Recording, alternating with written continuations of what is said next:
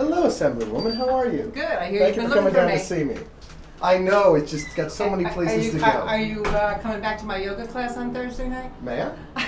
sure. If I've never tried yoga before. Oh, that's too bad. Everybody needs a little yoga in their lives. I'm just wondering if you have a few minutes to talk to me. I really don't, actually. As you can Okay. see, I'm here at work. Mhm. And um, in fact, I have a uh, phone conference scheduled with uh, some of the professionals about the projects that Okay. we're going to be working That on. But I'd be happy to schedule a time.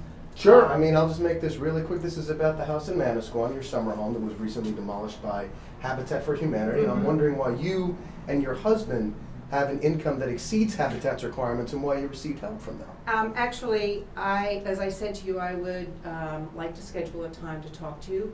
Um, and I Mhm. can't have a con, I can't have that conversation with you, you know, I can't, uh, speak to you right now, cause I do have to get back to work.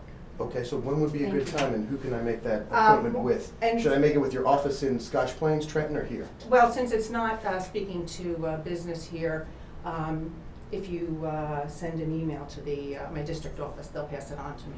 Uh, do you know what your availability is gonna be in the next couple of days? The Next couple of days, um, are not good, but next week is good. Because I know you have district time. Are you gonna be in Trenton at all? Is the legislature meeting this week? No, uh, th- not this week. Well, um, I have to look at my schedule, I forget.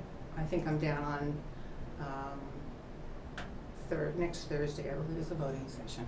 Okay, well, you, you don't wanna just take five minutes here? Because this is I'm uh, sorry. important questions that we wanna ask you. Yeah, and and like I situation. said, I have. uh, You know, 'cause we were looking at the financial disclosure forms Mm-hmm, that you filed in twenty thirteen that indicated that your husband made north of fifty thousand. Obviously, you make forty-nine as an assemblywoman, and that puts you over the limit to be helped by Habitat.